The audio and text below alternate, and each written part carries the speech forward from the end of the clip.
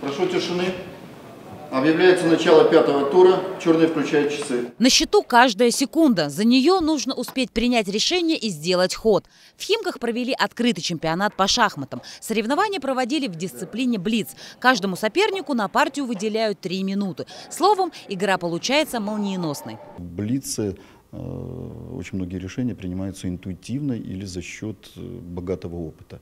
Э, В классических шахматах ты размышляешь над каждым ходом, и там есть возможность подумать, просчитать варианты. Здесь это намного сложнее. Турнир открытый. Участвовать в нем могли шахматисты любого возраста и мастерства. Среди игроков как совсем молодые ребята, так и мастера ФИДЕ. Например, Михаил Кличев – титулованный шахматист с высоким рейтингом Международной шахматной федерации. Уже много лет тренирует и судит спортсменов. Сегодня пришел как участник, чтобы оставаться в игровом тонусе. Я занимаюсь шахматами с 7 лет.